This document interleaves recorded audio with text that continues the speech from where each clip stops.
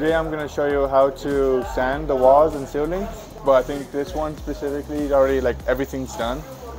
So we just have to ask Nelson what to do next. Come on, let's get started. So I like to start on a corner because I know I did it. You just start just standing it.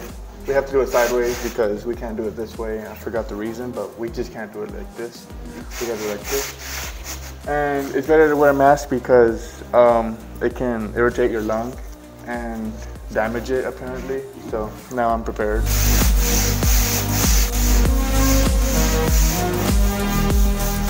You gotta feel for it. If it's smooth or not. If it's rough or like bumpy, you just wanna smooth it down.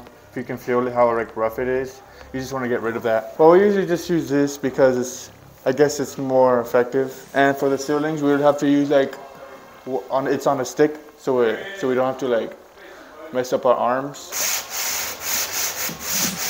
Yeah, the corners are like the hardest. Uh, you don't want this to be dull because you gotta get the mudding off. If it's like if it's bad, it's not gonna be working. So you just gotta replace it if it's not working right now. Doing too much work is unnecessary.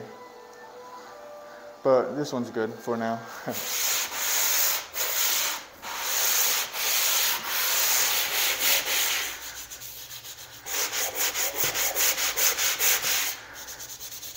Yeah, you don't want to overdo it because you can get rid of the mud from yesterday. Otherwise, you're gonna have to put some more mudding on. I'd rather do it little than overdoing it because I don't want to do mudding again, you know? We don't want to do each other's work, like the same wall, too much work, and you know how you zone out, you don't really think, and it's like you feel lazier, but we just gotta keep doing it. We get to accomplish a lot more when we're talking to each other. Like Emilio said, we get zoned in, the moment sometimes you don't see all your surroundings. So it's super important to make sure that we're talking to each other saying, hey, I already got that, I already did that, so that we move faster.